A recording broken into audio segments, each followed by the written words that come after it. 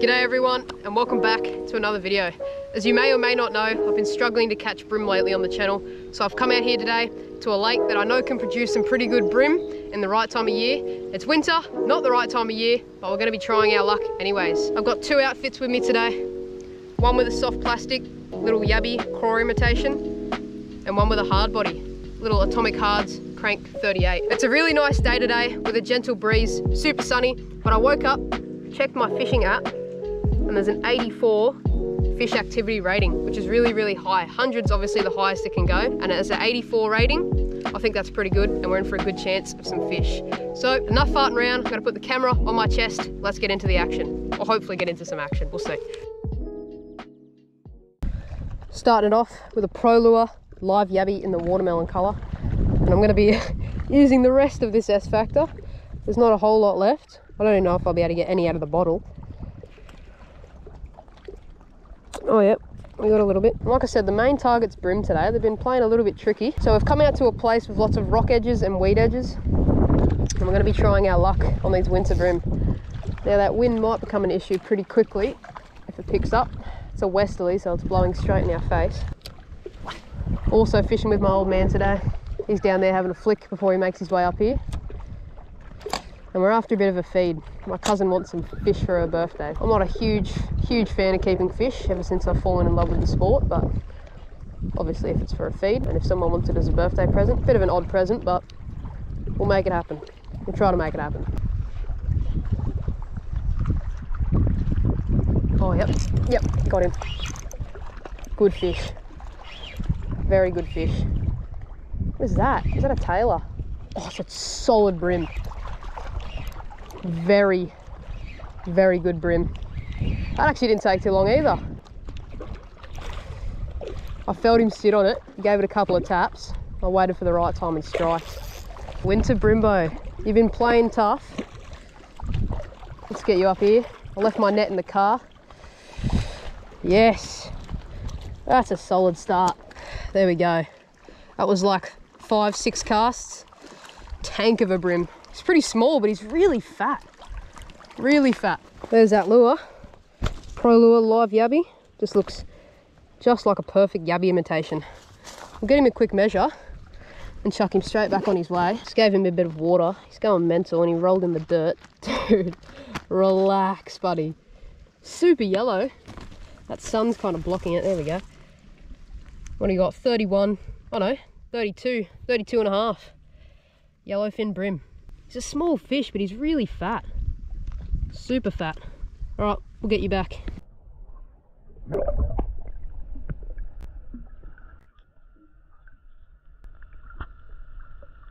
Well, that's always a good start. We came out here for some bream today. Six or seven casts in, and we got one. Right along this edge, you can't see properly because I got polarized. Another good thing when you're fishing is to have some polarized sunnies. They really come in handy, but it's super sandy here. As you can see, there's a fallen down tree. There's weed off here and there's really patchy rocks. It is absolutely prime territory for bream. And the way that I'm working this lure is just letting it sink to the bottom. once I've waited a couple of seconds for that to drift down to the bottom, I'm just giving it two hops, or you could even do one hop. It's always good to mix up retrieves. Just hop, hop, like a yabby hopping up off the bottom and going and sitting back down. Also, let that lure sit on the bottom. Give it time to sit in front of the fish's face and in their strike zone. It's always good when you're fishing soft plastics to have a bit of scent on there, especially when you're bream fishing. They come over, suss that lure out, see what it is, they get a whiff of that scent. And sometimes just having that little bit of scent on your soft plastic can help the fish commit to it. Yep. Oh, bummer.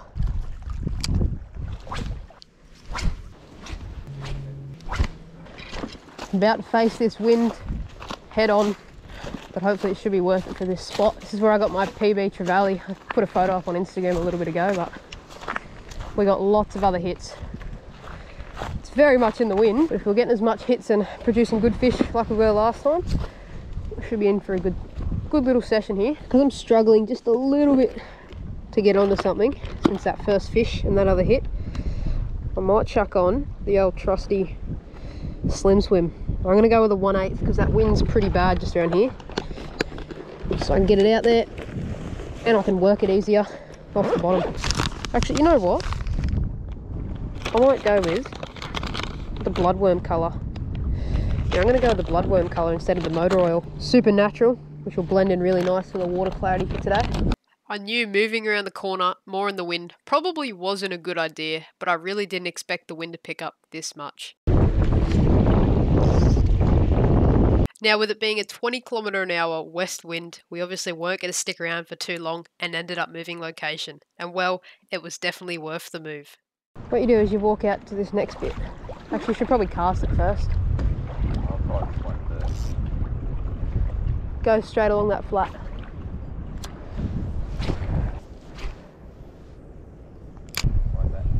Oh, I just got to do Cali at some point. Just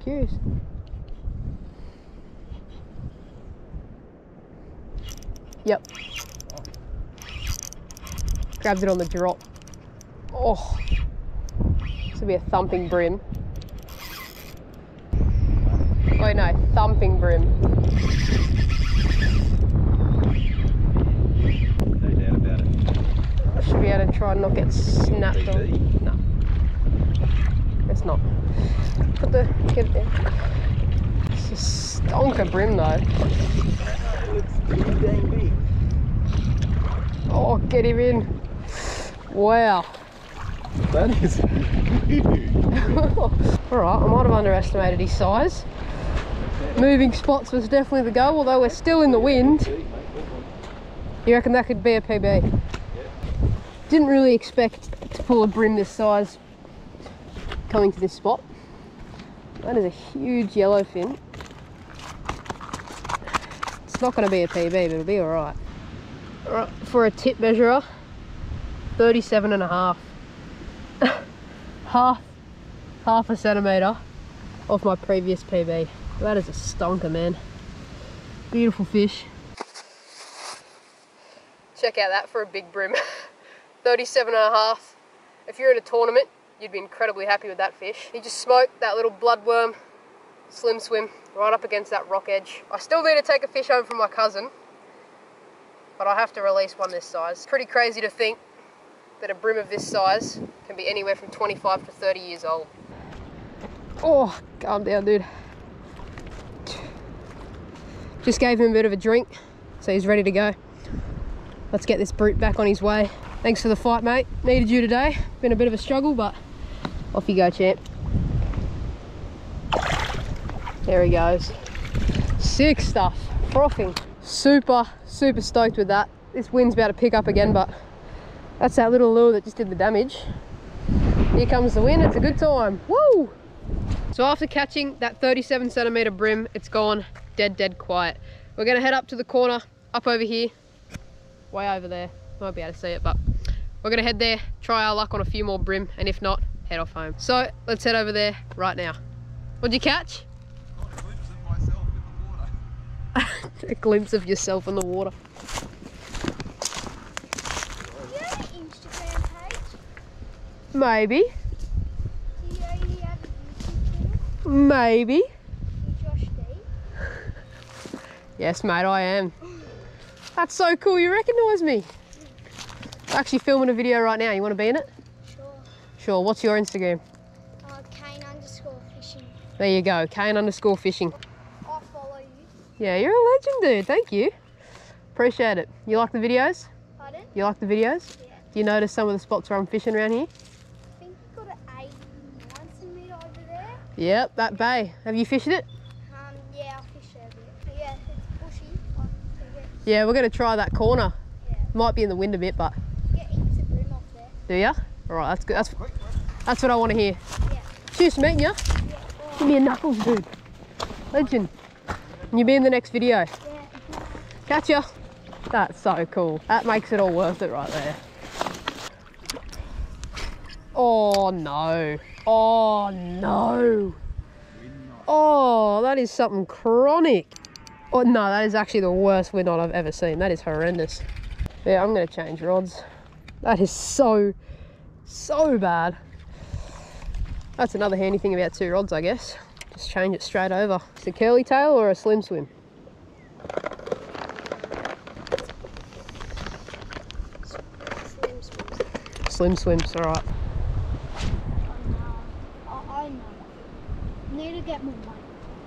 I've only got like forty dollars to spend it too much. What do you? There we go.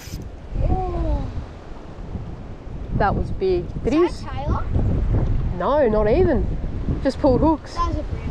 That was a good fish, whatever that was. No, feel that. That's not even that loose. That's a Pull on that. forty centimeter bream for sure. That's not even that loose. That's forty centimeter.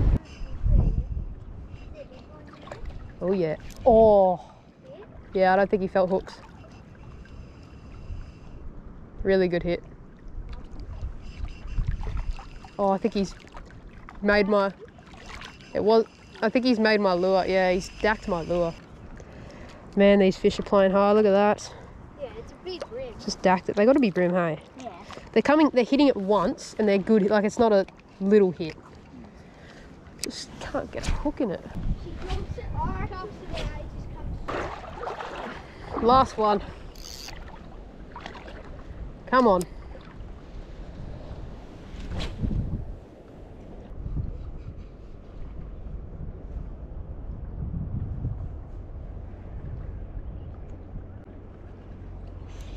Yep.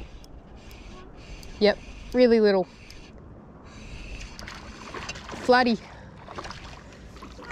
Little flatty on the last cast special.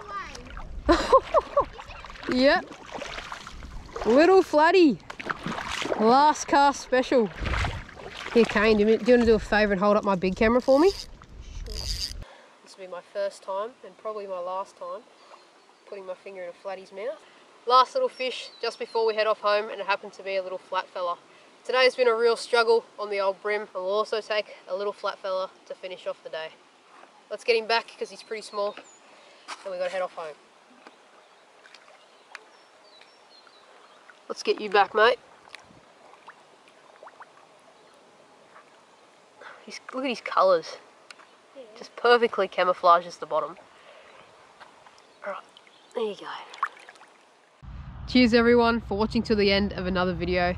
Now, I'm well aware throughout this whole video it was super, super windy and I'm annoyed as well because it wrecked a lot of good footage. So I've actually decided to go on eBay and purchase a $10 little foam GoPro cover that should hopefully, hopefully block out the wind and it should be good for all future videos. Also, Kane Buddy, if you're watching this video, I really do appreciate you coming up to me, saying hi, and not being shy. You're a legend, dude. With all that being said, like the video if you enjoyed, comment down below on what you thought about today's video, subscribe if you're new, and I'll catch you all in the next one.